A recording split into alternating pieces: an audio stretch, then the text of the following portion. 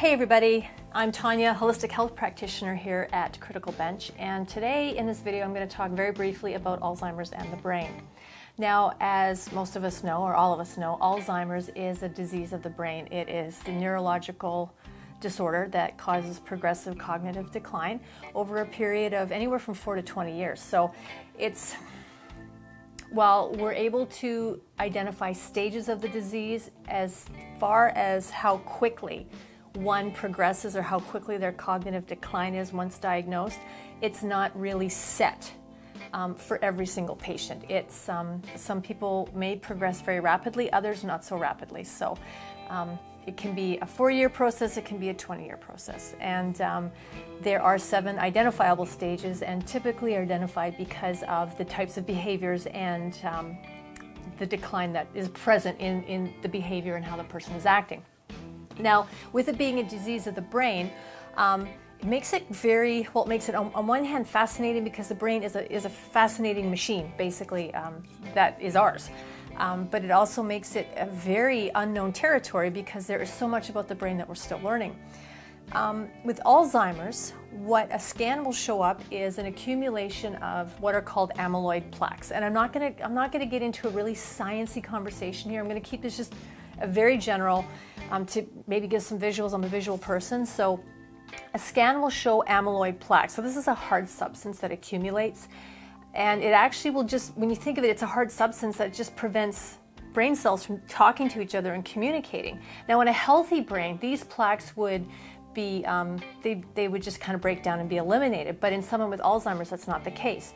Now, recently I was um, sent some new information about research that's being done that shows that actually this accumulation or the formation of amyloid plaques is actually a positive thing in terms of identifying Alzheimer's maybe early on because if I'm understanding what I was reading and listening to correctly, it's these plaques.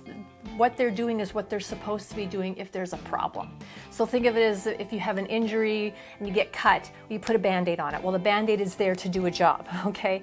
Um, that's, a, that's not a great example, but it's the only one I can think of on the spot here. So um, there's a lot going on with that research and I will be, as I learn more and find out more about it, I'll definitely be bringing that to you in other videos. But right now, what I do know is that with Alzheimer's usually not being diagnosed until about the fourth stage, these plaques have built up and they're quite hard and they prevent that communication between cells in the brain and death of brain cells. So if brain cells are dying and they can't communicate with each other, it only, I guess, makes logical sense that certain things, uh, behaviors, speech, mobility, communication, the uh, ability to problem solve and think would be compromised and progressively decline. With normal aging, uh, brain tissue will shrink. I mean, we're born all fresh and new and everything's at 100% capacity and functioning capability. As we get older, um, you know, it's like any, any type of equipment or machinery that you use, it starts to wear down. So our brains will go through of being used and there's some shrinkage in tissue. However, in a person with Alzheimer's disease, the shrinkage of brain tissue is um, very much exacerbated. It's, it's quite quick. It's very profound. And um, it, you know, essentially, end of story is what's happening in the brain causes that disruption in, it causes that disruption in that the brain cells cannot communicate with each other. They cannot talk. Messages stop being sent.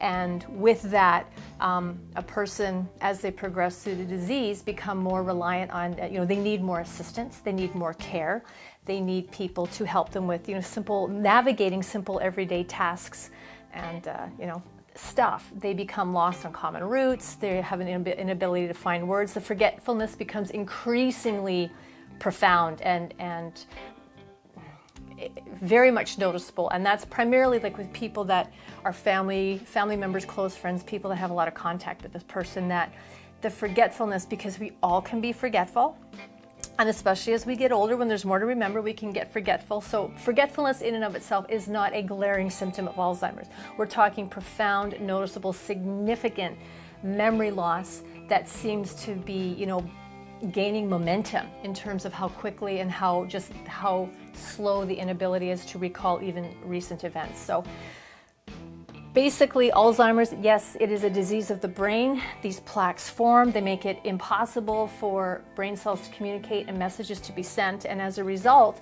normal everyday function become compromised and it's a progressive decline. Okay, I promised you I would keep it brief and I did. Thank you for joining me and thank you for listening. I hope this video helped you in, in, even a small way in understanding a little bit more about Alzheimer's and the brain. If you liked the video, please give it a thumbs up.